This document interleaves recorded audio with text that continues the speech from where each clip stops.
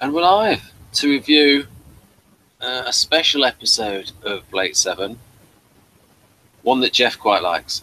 Um, Countdown. Uh, for That's what was special about it. Yes, because as of late, uh, they've not really been uh, knocking out the high grades. Uh, I don't know. I think there was one not that long ago that I liked before this. Yeah, I think it was pressure points, maybe trial. Yeah, the trial one was all right. Mm, Yeah, this was definitely an improvement over the last week. yeah, that was Hostage, written by Allan Prior. Uh, right. Uh,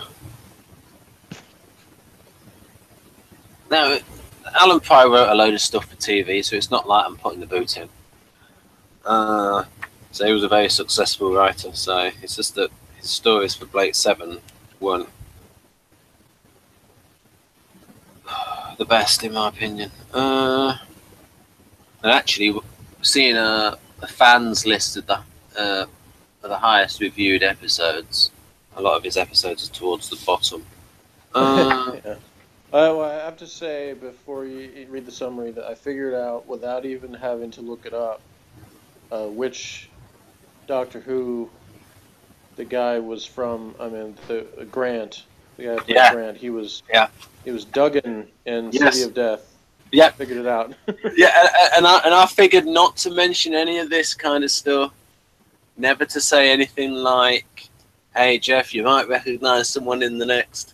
Yeah, no, that's cool. I like figuring out from myself because I knew I recognized him and I knew he had he was in Doctor Who, but I, you know, I was trying, I was sort of had that in the back of my mind, thinking, was he another one that was in Genesis? Because several of the people from that have been in Blake Seven, so I was like thinking about that, and then it came to me, no, wait, I know which one he was in. So, just as a general rule, and just to check, like, no little teasers, no, nothing like watch out for. Just like want it a complete surprise. Well, yeah, it's better that way, I think. Okay. Okay.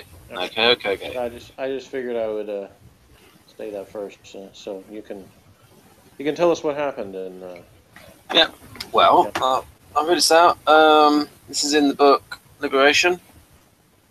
Uh, although, if people want a fuller, yeah, a fuller, a fuller synopsis, will be this book by Tony Attwood. Uh, what we got here?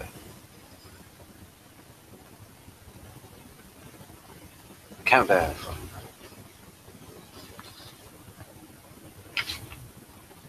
Yes.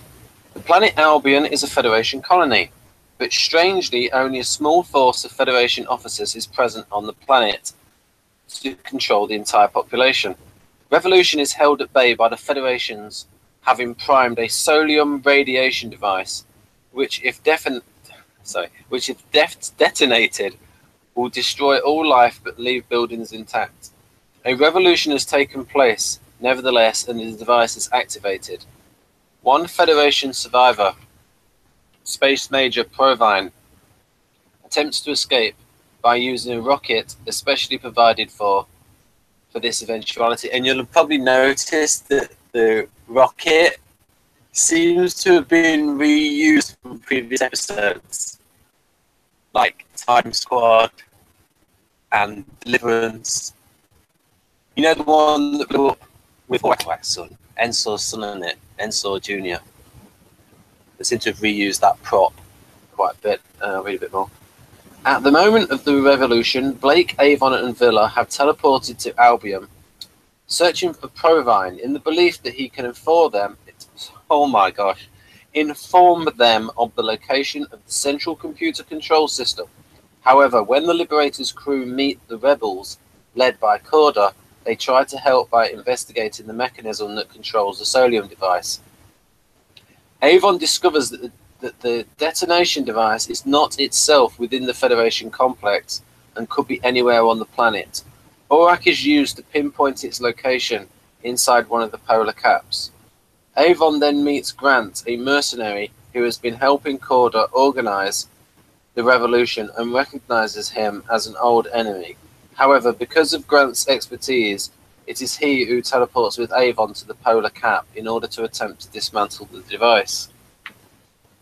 Meanwhile, Blake searches through the ruins of the Federation base and meets Provine, whom he is forced to kill.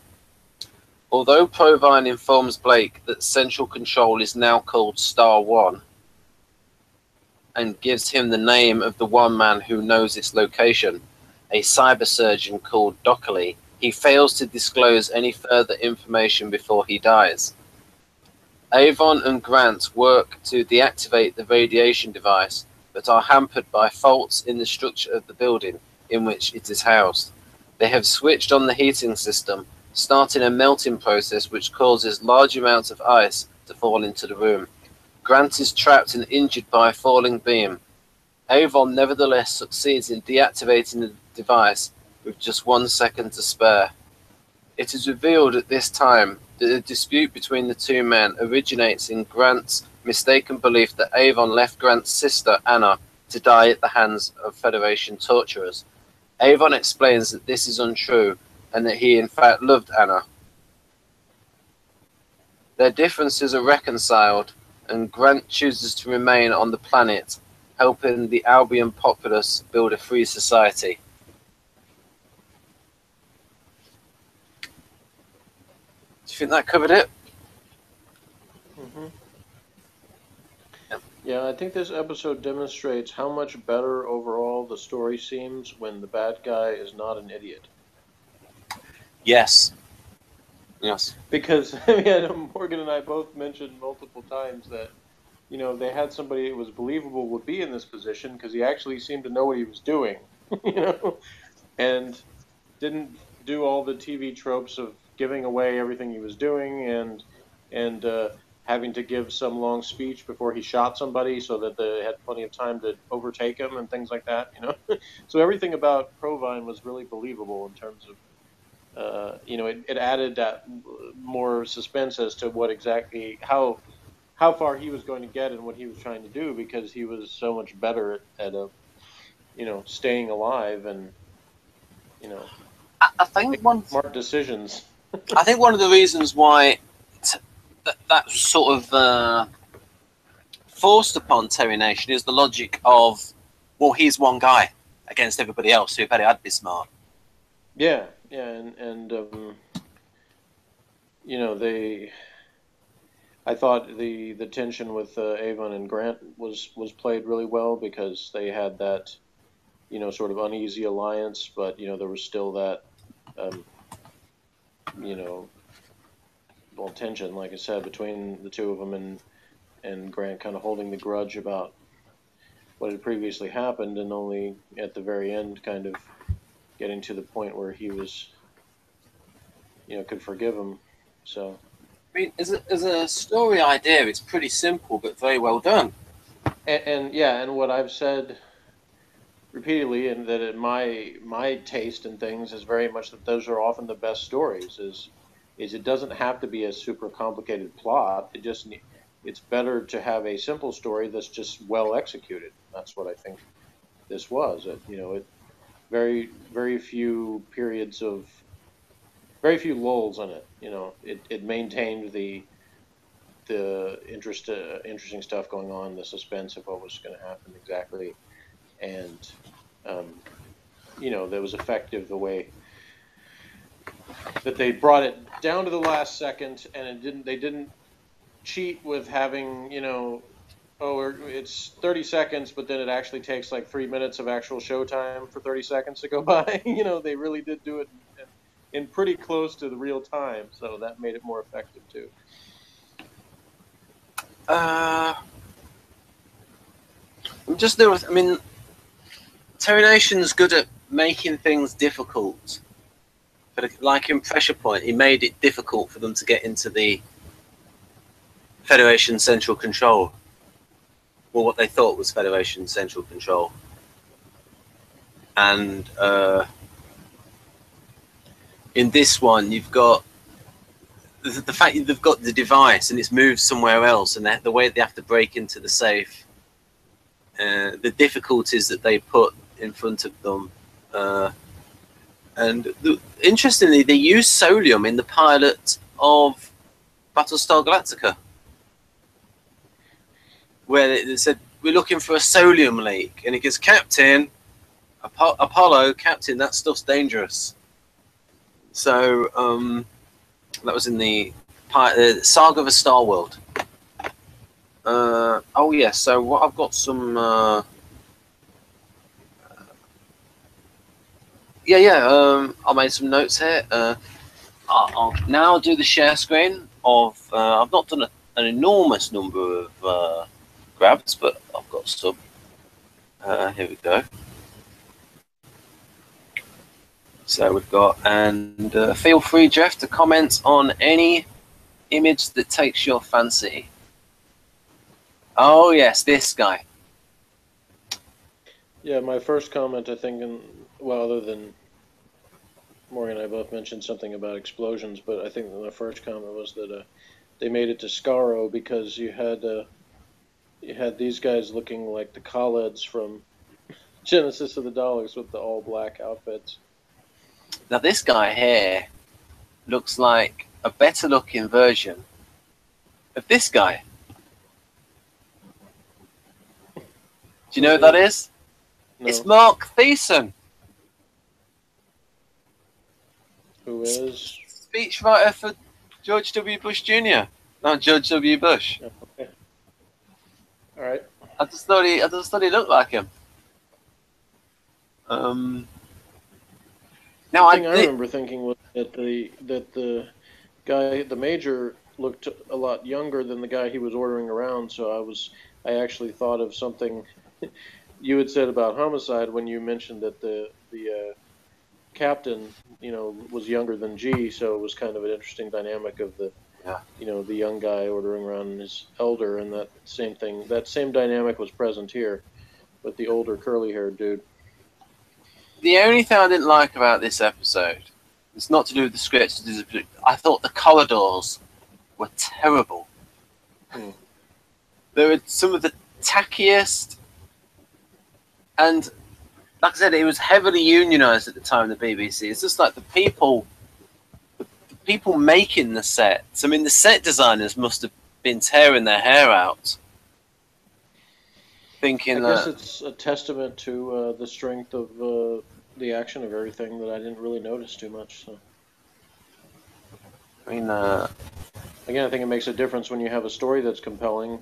mm, That those other background things don't stick out as much as when you have an episode where where the story's kind of lame, like the last one, and then you notice all of the things that are Mm. flawed in the in the design and stuff. I took this grab, folks, because this shows what the cameras were like at the time, where it would you would get streaks on it. Where these are the sort of cameras they used in the 1980s, where you would do it would leave streaks on the camera. Anything bright that moved would like leave a streak uh, on the camera, and that changed in the 1990s in the UK anyway. Uh, Nostalgic because I think about when I was a kid and I had a night light in my room, and I used to squint to make the light do that. Mm. because that way it looked like it was a star. ah, right. So yeah, just one of those little nostalgic things from childhood. You do, you don't like the lobster costume. You know the red the red lizard skin. Yeah. I actually thought though that this is probably one of Blake's better outfits. Yeah, it seemed like uh, Avon and, and Jenna changed back into lousy outfits from previous one, and I like the color of the thing that Jenna's wearing, but that it just needs to they need to get rid of the uh, goofy like uh, um, silver suns or whatever they are on the thing. I mean, I mean, I thought this like fitted him Yeah, he looked fine. quite well. Showed his arms off quite well. Um, Yeah, if anything, I was just sorry that uh, that Provine, uh, you know, his uh, his death was believable and everything. I'm just sorry to see him go because he's been the most competent Federation officer they've had yet. yeah. Would have liked to Uh, have seen him uh, him come back instead of Travis. Uh, yeah, that's why I took this grab, folks, to uh, emphasize this thing about. Uh, so now we know why it's called Star One. Uh, it was a little spoiler that Jeff heard on the on the audio. Yeah, uh, I mean, I haven't been able to sleep since then because I was such a massive. Um, Knowing, knowing that, I just really can't, uh, you know, enjoy the show anymore. Sorry. Oh, okay. I think you can I tell definitely them. didn't already see that title on the screen when there was a recommended videos that. Flew, Yeah. yeah. Um, now they have moved. So okay, so we've done that then. Uh, well, they've moved it to. We did that. Uh, oh yes, I thought at one point Paul Darrow had a cold on film from his voice Maybe so. early on. You're usually better at picking up these things than I am because you're very orally sensitive. Yeah. Um, I was going to say on the title, you know, I pointed out that the last episode had a title that shared shared a title with with Homicide episode. This episode Countdown shares a title with Robotech because there's a. Robotech episode called Countdown too. Uh, got some more of the corridor sets coming up. Uh, yeah, terrible. This actress wasn't winning any awards. I was about to say she was really the only weak link in those Yeah. uh, in the in the Rebel Force or whatever you want to call them. Yeah. Thought that was uh, well staged. Uh, I think I think one of the ways Blake has quite a bit of presence about him, and uh, I would have to know like where the actor Gareth Thomas grew up. But you know, he is a Welshman. Uh, yeah, I was thinking, as I said, uh, certain lines that you know, even though he's trying to, he's doing sort of the you know the proper accent or whatever you want to call it. Uh, there's only a few times where he kind of says something that doesn't sound like it. And one it, it was the way he said anything as in a thing. What? What? what the actor playing Blake? Yeah, so I noticed Wow. that. Hmm, Interesting. Yeah, so Gareth Thomas is a very Welsh name. And uh, it is true that uh, Irish, Scots, and Welsh are tough. That is true. Every Um, single one of them. yeah. There's not a weak one in the bunch. but as a generalization, it is like a Kel- it is like a Celtic temper thing.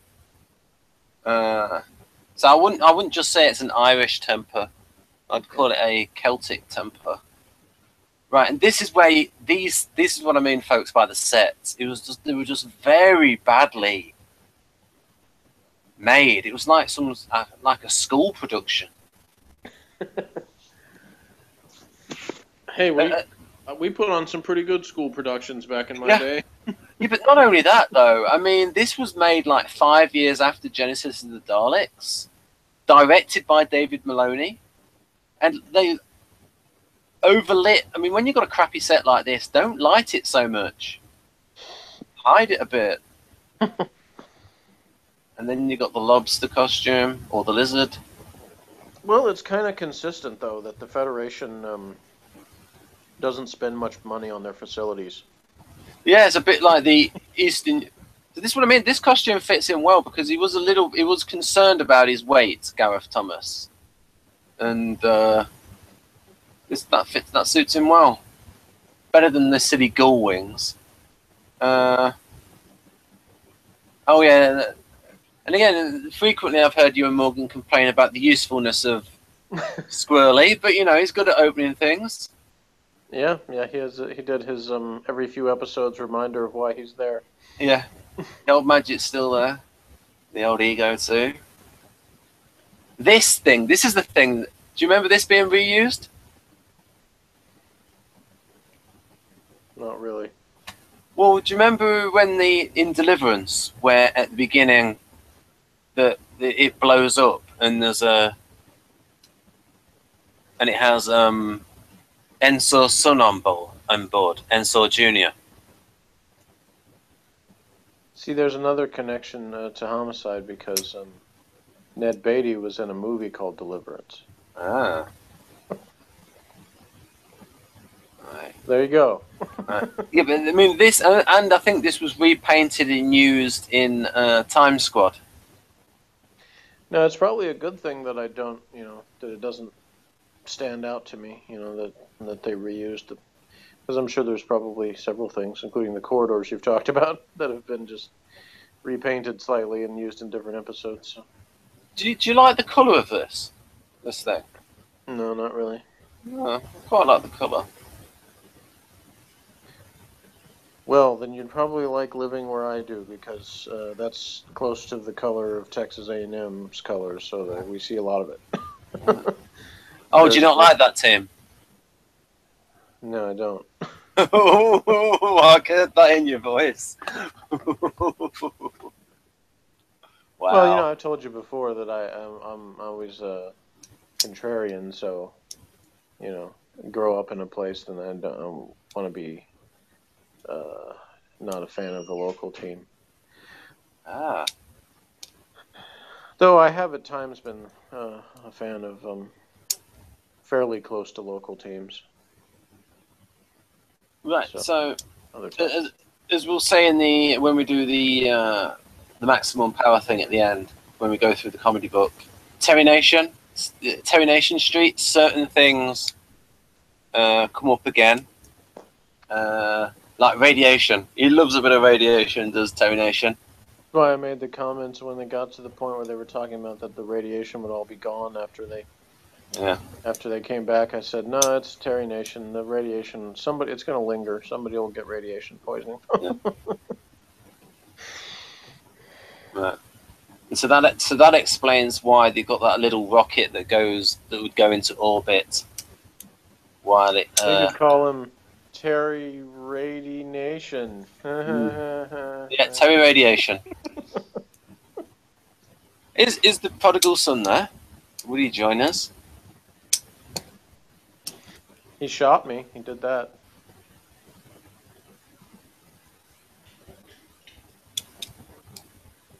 I mean, sometimes he would like he, he like he, he he went a full Shakespeare on this. He went a bit theatrical in this when he said things are more important than people. Like he really uh, emphasized the T and the P. And in one episode, he really rolled his R's. Yeah, it was like um, a Doctor Who episode where Barbara says something. Something has been going on for years. Yeah. It's not quite the way when I try to sa- say it. I sound more like I'm doing a pirate voice, but I can't quite imitate that. Oh. uh, I mean, we're talking about vowel sounds, not Americans when they did the American Theatre Standard. When they say um, last, the way Lorne Greene said last in Battlestar Galactica at the end, it's like halfway between lost and last. It's like a weird kind of vowel sound. yeah. Uh, Well, that's kind of like um, New England. Accent. Yep, that, yeah, yeah, and that's it. That is what American Theatre Standard was created for. It was it was to be like a theatrical version of that region, Yeah. just like So that's This- why I said like there were people in Doctor Who fandom that would pick on um, on the actress that played Peri on Doctor Who for you know her American accent not being good. But honestly, when I rewatched the her introduction, I said it's actually a pretty believable accent because not only was she from Northeast, but she also her family had traveled all over the place, so she had right. and she had gotten kind of some influences from various different places. So I don't think um, the fact that she uh, would say certain things in a more so the, the problem was not her accent. The problem was sometimes they would write phrases for her to say that I've never heard an Yeah. American. say. So the problem was not in the in her performance; it was in the writing. Yeah, she said that in the um, those Doctor Who handbooks, Jeff. I recommend that to proper Doctor Who fans, uh, because a a load of information. That, I remember that was the first one because there weren't that many stories. Colin Baker had he had the fewest number of stories in proper Doctor Who. Uh, he had more episodes than McCoy, but he had fewer fewer stories, and so they covered it, that uh, Doctor in quite a bit of depth. And uh, in the interview with Nicola Bryant, she talked about that that uh, writers would make errors with the dialog hmm So do you think the actor was quite good at being intimidator? Which actor? Uh, Gareth Thomas as Blake. Mm, he doesn't. I mean, he doesn't seem intimidating to me. But I mean, Well- I guess he could be to certain other characters. I don't know. I mean, these days he would have bulked up.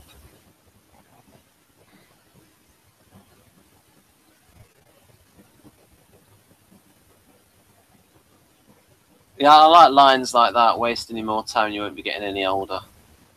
Yeah, I mean that's really the the only thing that's you miss much with Gan not being around is he was sort of like the only one who came across as being the the tough guy. and it can be other the, the other effect the mo- the most effective characters on this show are the ones that come off as being the smarter, shrewd ones, Mm. like Avon and and um, you know in this episode Provine and people like that that are actually like thinking and you know can can adapt on their feet and stuff, as opposed to there being people that are just out muscling others. There's not a whole lot of that being effective because most of the Federation guards are, as the Brits would say, rubbish. Although he does give them the key information at the end. Yeah, I kind of wondered about that. But you know, it's uh, whether he would have just skipped it. But you know, I guess there's a part of him that might have um, that might have actually been rooting for him at that point. He's like, you know, hey, maybe maybe uh, my with my last breath, I'll say screw the Federation. Hopefully, he Yeah. succeeds. And look, it's called Star One now. Where is it? Docholli, cyber surgeon. Only Docholli knows. Where is Docholli? Where? Right. Then you see, uh, yes, it, Vavon plays himself. Now, this, folks, is called the Duchenne smile. Where when somebody does a genuine smile, you get these little you get a little this muscle around the eyes activates. And so you get the the full creases around the eyes with a genuine smile. Now you can actually do that and uh, you can give a genuine smile by thinking a happy thought when you're doing your fake smile and then it will have the Duchenne reaction. Uh. ah Right, so what did you think of it, Morgan?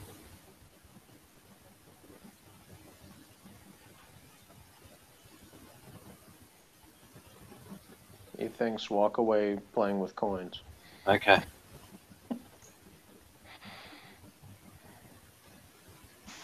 It was better. Much better. It was actually kind of good. But Avon had a better outfit and didn't have that stupid subplot with him and the other scrub. See, I didn't think it was stupid. Um, now, if they dragged it out any longer than it was, it would have gotten boring. But I thought it, with the length that it was, it was pretty effective. Still. Well, that's fine. As Ben has said, um, I, I, I uh, care more about relationships. So All right.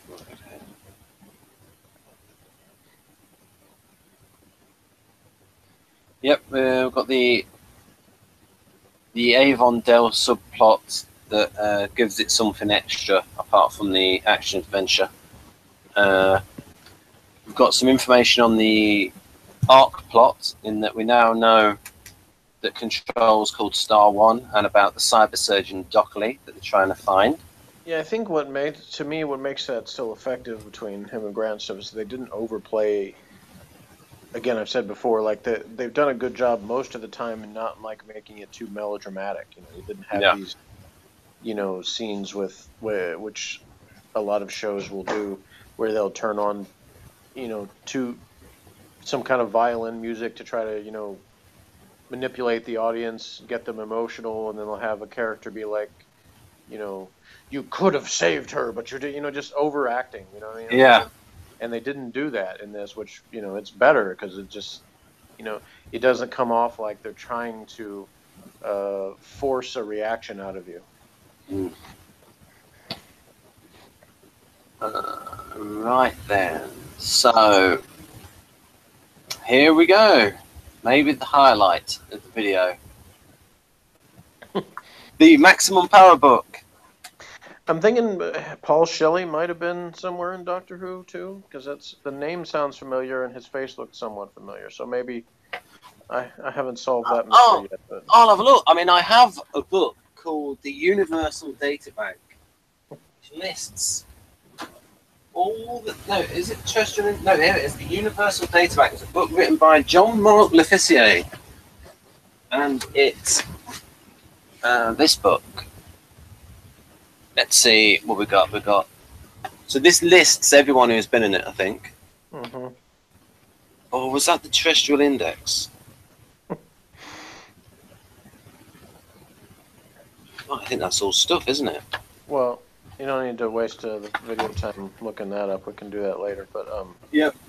I was gonna say I, I was predicting before you even get to the comedy book, like one thing they would make fun of because they, you know, the the somewhat um, uh, homoerotic innuendo between uh, between uh, Avon and uh, and Grant in the scene where they're in the and because he keeps saying things like if we can widen the hole and get a rod in there and and they get really close to each other several times so Oh like, yeah, I know they're going to say something about this yeah we got it there. I mean, right. So uh, I'll let you uh, mention whatever takes your fancy on this on the screen. yeah I thought of that when I saw the thing where he says something about get your hand in here because there were several lines that were that were You- kind of Usually, it was Robert Holmes who would put in stuff like that, where he would. Like, the- the old story was he would put in all of this stuff, like stuff that he knew would be taken out, and some of it got through. yeah Like in like in his scripts for Doctor Who, he would always put loads of innuendos in. Yeah, well, And- you know, Avon was said like something about uh, I just need an, another rod or one more rod or something like that, and I, I just imagine Eric Idle singing, like, "I'll bet you do, I'll bet you do." And it's just like, and like, of course, most of them would, would be taken out when Robert Holmes put all these innuendos in. But, uh, but some of them, there we go.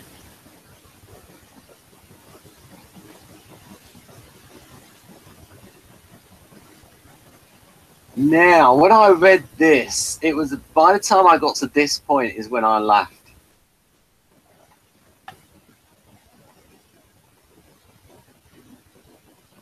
Yeah, obviously I don't get any of that, so because what happened was is I realised that they were describing the the um it's it's like a there's a quiz show in England called Countdown, which is a bit like Scrabble, oh okay, and they have like 30 seconds to like make a word. All right, okay.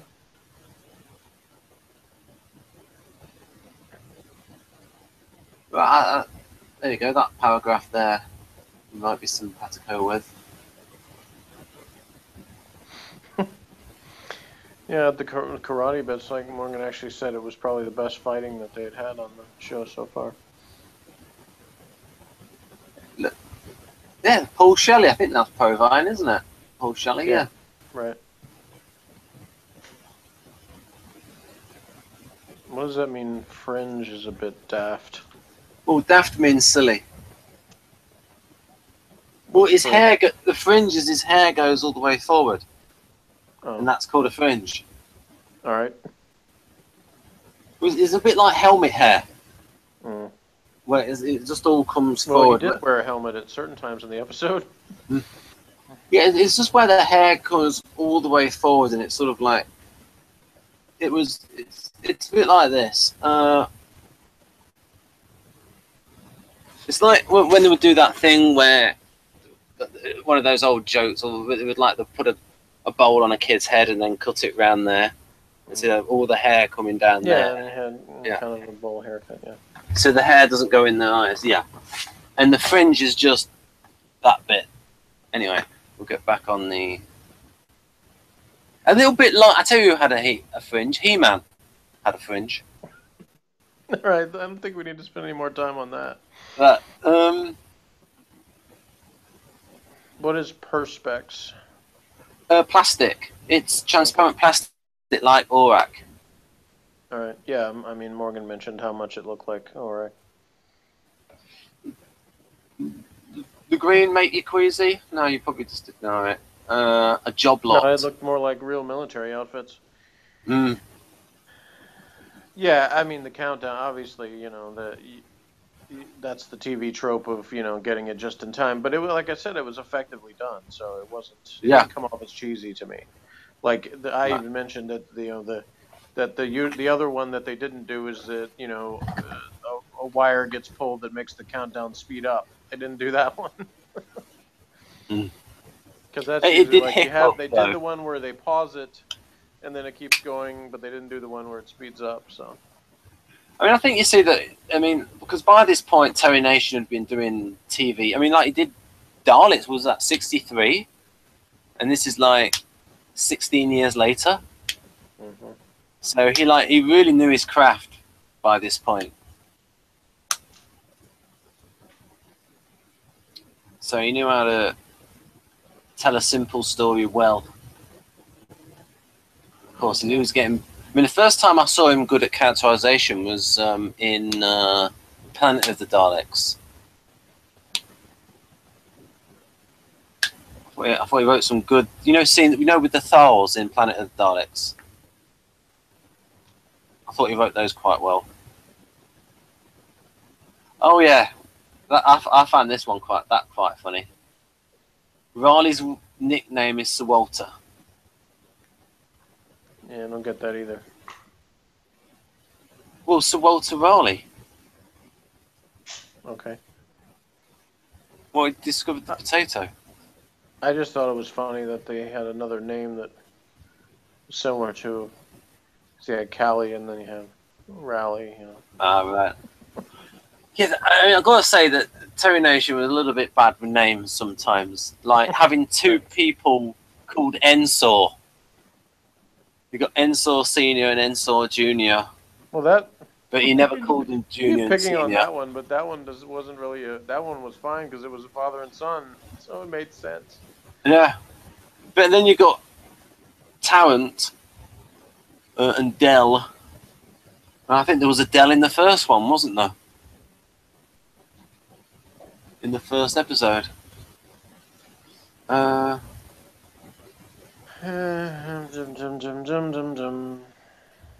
I think that's probably about this. Yeah, Ice Kano, yeah. Oh, did you notice how when he played, you know, when he was supposed to be like a private, he changed his voice, Provine, to sound less posh. I noticed that he changed his voice, but I didn't uh, notice anything about posh because I'm American.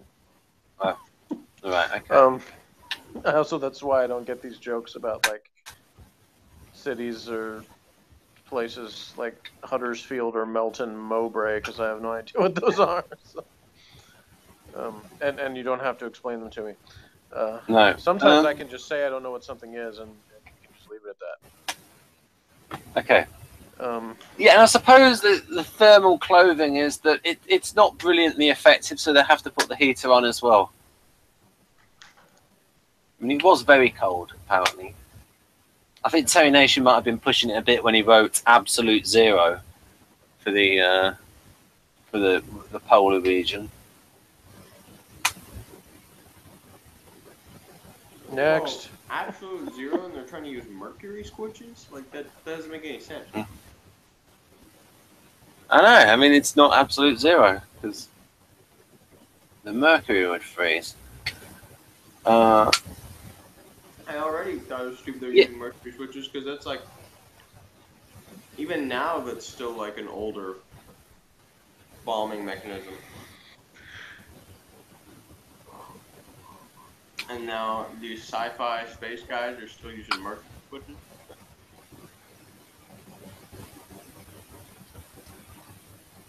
Well, it is of its time. Um, Okay, move it along. right, we've got polar footage, chicken in an oven, right? An ice Kano. Yeah, you've mentioned that bit.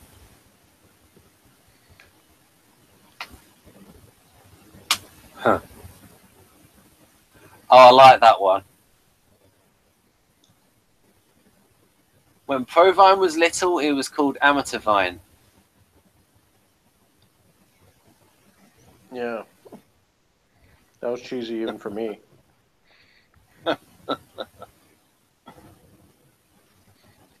It's lucky Avon and Grant actually knew each other. The scenes where they attempted to defuse the bomb would have been incredibly dull if they'd have been strangers and had to make small talk. Yeah, because Avon doesn't make small talk, so he just would have said nothing. Except Yeah. for what? Yeah. Yeah. One point, I just told Avon to stop and keep working, and that's exactly what he did. So I was like, oh, okay, there you go. Yeah, this is the second Terry Nation script this season in which a man gets trapped beneath a fallen b- beam. I think the previous one was Gan. Uh, and and this is, I think Morgan made this point as well. A teleport bracelet is wasted every time somebody's dropped off at the end of the story. Why doesn't a member of the crew beam down with them and return with both bracelets? Blake grins smugly, the curly git. Right, and then we've got some delightful dialogue. By the monster that eats all of the people that they drop off right after that.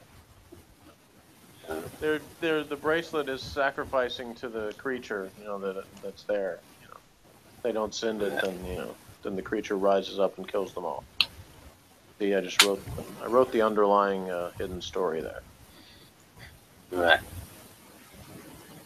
Chop. We've got socky here, both- Yeah. Not Yeah, sure the the means. martial arts. Yeah, Alright. like, like both of us said, it seemed like it was pretty decent, com- especially compared to some of the previous fight scenes. Yeah.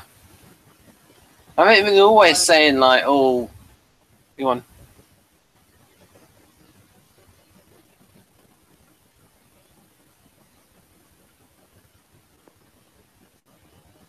Were you, were you about to say something? I just said the fighting was what's much better. Hmm. I mean, it- 'Cause I mean, like the action. in the beginning when he like, I don't know, knife handed guys to the throat, full of rebel dudes. Uh, it was actually like fast and not like, and then the guy just like slowly Yeah. reacts, rolls backward, oh, which is like what all Yeah. the other was.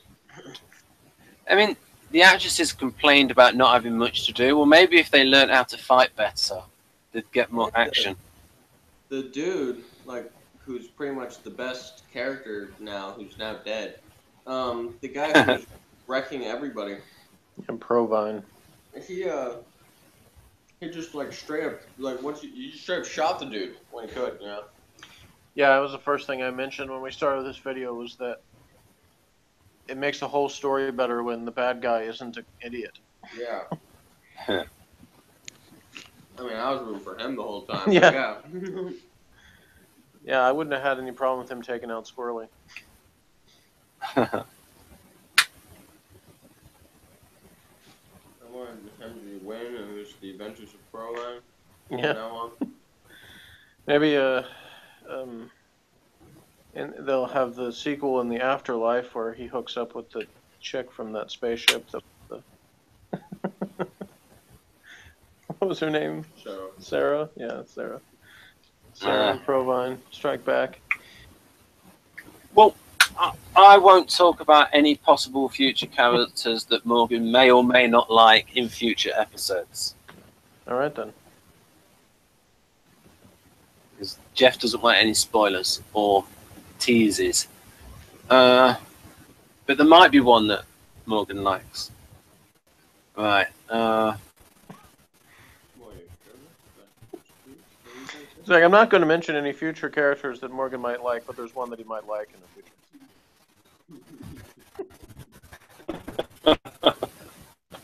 Phase DIY hasn't moved on since the 20th century. Avon's state-of-the-art toolkit is nothing more than a Commodore Garden hand drill painted grey with a whizzy sound effect. There we go. Termination Street.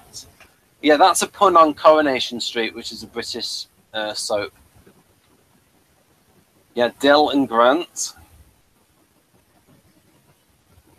Uh, there we go, yeah. So, is this comedy book like actually funny over there in Britain or something? Is, Or is, is, uh, is what funny? is that comedy book actually funny to any of you people? Some of the stuff. Well, it's- funny they've got a to me on very- bad episodes, especially. Yeah, th- this video seems to be Jeff's kind of humor. But not this video. I mean this uh, this book. Yeah, I, I, I the thing, the stuff I actually get that isn't just references to British stuff. I don't know. Uh, you know, sometimes funny. Like I don't get the last part there. They, I mean, they're trying to be funny with that too, because like the whole deal is that the doors open and then the rocket can like, you know, probably has thing to turn it so that it blasts off vertically. It says just how is a rocket lying horizontally in a room just four foot longer than the rocket itself supposed to lift off and exit through the doors far above? Well, the reason is is the countdown conundrum was a thing on the countdown game show Mhm. where it would it would be like um, Scrabble and they'd show all these letters. Right, what word is it? This is the countdown conundrum. Right. So it's supposed to be some puzzle you're supposed to solve. Yeah. So they weren't actually saying that it was like physically impossible or something. No. Okay.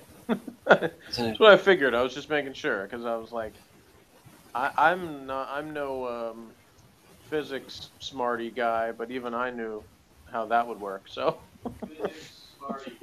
yeah. Well, yeah, it could have just wondering levit.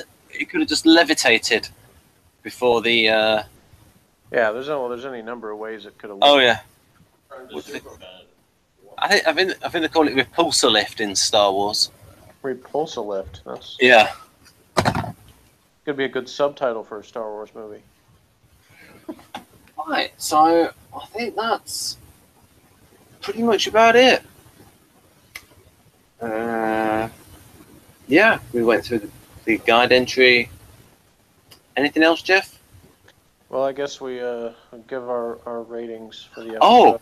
Oh, ratings. Uh, should I knock a point off for the sets? No. Uh, I'll give it.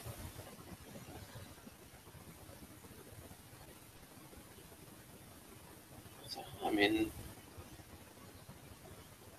is there anything? Is, is there any way? To,